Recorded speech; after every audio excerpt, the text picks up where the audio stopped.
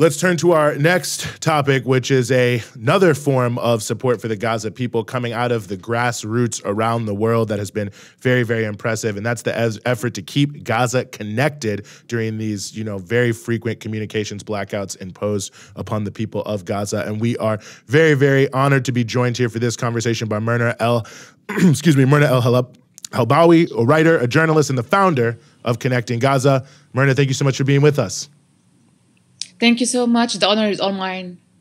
Well, we are really happy to have you here. Uh, I think people have probably seen you from the eSIMs that you have been helping to get out to people of Gaza, raising money. I mean, I guess my first question is is what moved you to to and others working with you to take this action initially uh, to try to find a way to keep people connected in Gaza?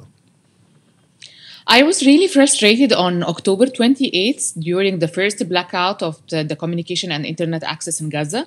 Um, I was trying to provide into the humanitarian aid organizations in Gaza through Starlink uh, the company of Elon Musk. Uh, he posted on X that he will, can provide um, connection and internet access to them. Um, and I tried to connect with the Egyptian Red Crescent and to fill the request on behalf of the Palestinian Red Crescent to provide internet access and it was all in vain. Um, all the attempts to internet failed, and I got surprised with an with a post uh, from um, Elon Musk talking with one of the generals in the occupation army, uh, telling him that he will not um, provide access to Gaza unless he gets the permission of U.S. and Hamas and um, U.S. and Israel. So I was really frustrated, and I was keeping up all the updates on my social media account on Instagram with my followers. And one of my followers, she's Egyptian Lebanese and she's living abroad can we use eSIMs to provide internet to them? I was like, I used eSIMs during my last Euro trip, but I'm not sure if it can work there. Maybe can you send me like two eSIMs and I will just give it a try. And she sent the two eSIMs right away, and I kept calling on on X to see and to find anyone in Gaza who has like a sweet, a weak or slight connection, uh, and I found two journalists, Ahmed Madhoun and Hind Khoudary. um, and I sent them the, the eSIMs and they successfully installed the eSIMs on their phones. And that was the moment when uh, uh Connecting Gaza was born. It's really incredible what's been able to happen. I mean, it, these are some of the few people that have been giving the world a view of anything that's been happening uh, inside of Gaza. And it's incredible that it's still working. I mean, these are people who've become household names. You mentioned Hind, uh, have become household names around the world in many ways. And I'm just curious. Um, you know, at this point in time, it does seem like the uh, it isn't seem the Israelis are obviously trying to limit uh, the outside world's view of what's happening inside Gaza. They seem to be hunting journalists. Uh, it's becoming increasingly frightening. And I'm just curious, the people you're in touch with, what are you hearing from them? I mean, it just it just seems to get more devastating uh, by the day, and Israel does seem to be going after those who have access to these sorts of things. Um, we connect thousands of people in Gaza every day, and we hear thousands of heartbreaking stories every day from people in Gaza. Uh, people, I, I, I was connecting a girl yesterday, and um, I was assisting her step by step to activate her eSIM. And once we, we, we were done with the activation, and it was successfully done, um, text and I was ending the conversation. She texted me, "Can you stay online with me to talk with me about anything because there are bombings near me and all my family got killed and I am alone and I feel very scared." And it broke me down really, and I kept being online with her and I kept texting her until the bombings uh, ended and she was like safe to to sleep and to uh, to start her journey to the displacement to Rafah next day. Uh, so every day we we we come across some heartbreaking stories like one guy who, a Palestinian who lives abroad and he was trying to provide an eSIM for his sister in Gaza and we were trying to connect her through him and the internet connection in uh, Gaza is very bad and very weak, and it keeps disconnect every like two minutes. So it interrupts the whole process of activation in system. And one time when I was waiting for him to get back to me, he told me I no longer need the eSIM because my sister got killed, her house got bombed um, minutes ago.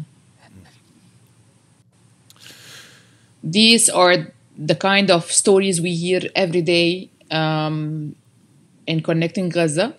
Um, we hear heartwarming stories of people ca- who can who can connect with their families after days and days of not being able to uh, hear their voices or uh, talk with their loved ones or even reach hospitals. Uh, we even connected so many to who could um, their um, their videos and their um, and sharing the truth of what's happening on ground to the media platforms around the world. Um, but the heartbreaking stories we keep hearing and we keep coming across every day is is definitely heartbreaking. You know, one of the things I think that's connected to this that's important. I mean, I think you know, it's it's maybe well established you know, people have a right to water, a right to food, a right to housing. But I think the right to be able to stay connected, to use the internet, to be online. I mean, how important is that when we're also talking about the things that people in Gaza are being denied?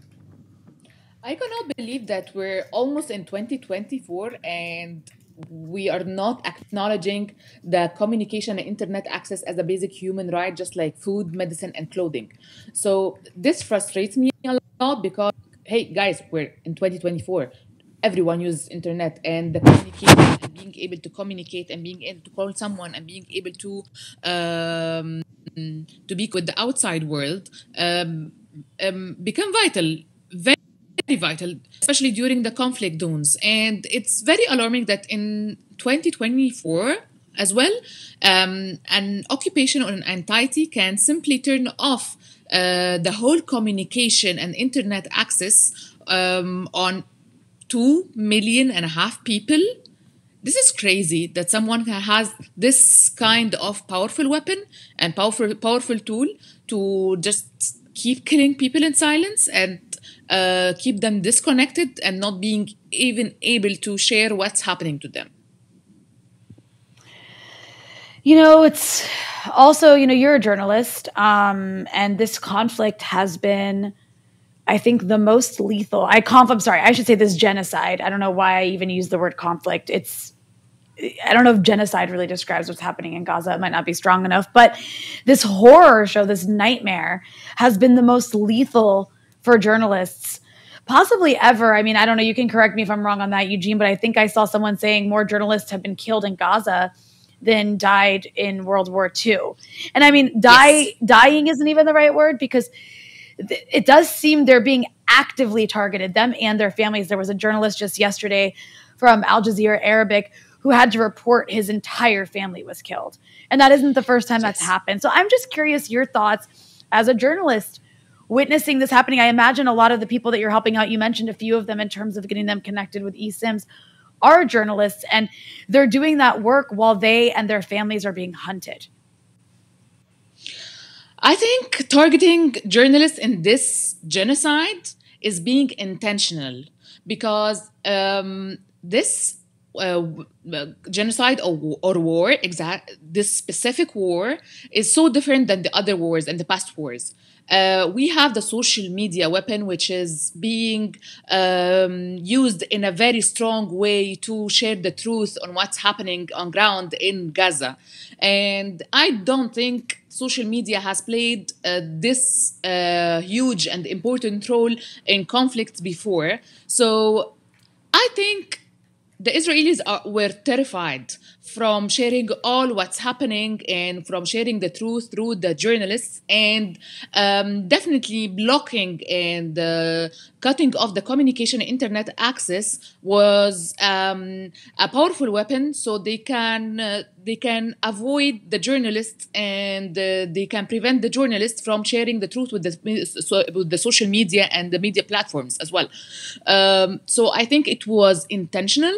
I think 81 journalists so far have been killed in Gaza since the start of the genocide. This is not normal, and this is and this is definitely not uh, like uh, unintentional to kill 81% of press members. Um, even today, we had like a, a very heartbreaking scene from uh, North Gaza. Uh, one of the journalists was uh, among people and civilians who were arrested and um, um, arrested in North Gaza. And I don't know, they took them and they somewhere, I don't know, we don't even know if they're being executed, if they're being um, arrested. We have no idea what's the, where are they now. But seeing the, the horrific scenes from North Gaza today, and among these people, there are journalists who the Israeli um, say these are people from Hamas. I don't think journalists are being with Hamas. No, it's unbelievable scenes. People, you know, stripped down. Who knows, being taken Yes. away in trucks. I mean, you know, some of the scariest things that I think you know you can see. And I, I agree with you. It seems dubious uh, that it's anyone but just average people. But that's this battle for information, and why, of course, they want to stop people from getting it out. So it leads me to perhaps what maybe is the most important question here, which is for those watching around the world, what can they do to help the efforts of connecting Gaza? Uh, we're still receiving uh, thousands of eSIMs every day. We're keep, we, we are connecting thousands of people every day as well. Um, we will keep connecting Gaza uh, until this this genocide ends.